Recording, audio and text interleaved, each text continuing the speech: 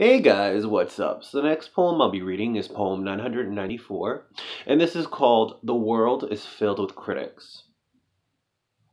It's disappointing to see how easily it is for people to rip each other apart, especially on Facebook. They stand behind computers and say exactly what they want, and they think it's okay until one day it happens to them.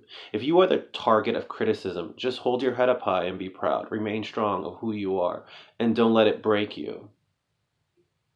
The world is filled with critics.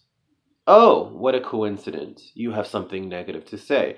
You always are on time to give your feedback, never late.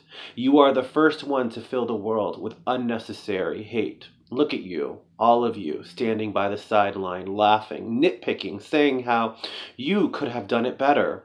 But I was the one that invented it. I came up with the idea first.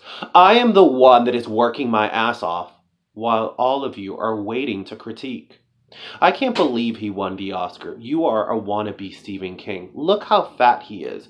Who the hell do you think you are? I don't see what's the big deal about him. He's not even that hot. She can't sing.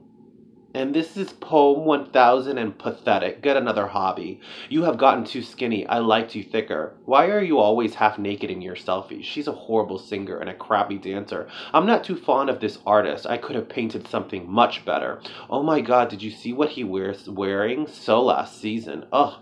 I hated that restaurant. When I get home, I'm going to rate them very poorly and give a bad comment. Oh, what a coincidence. You have something negative to say. You are always on time to give your feedback, never late. You are the first one to fill with the world with unnecessary hate.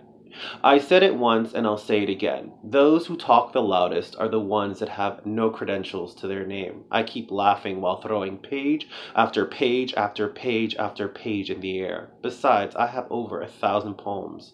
What have you done?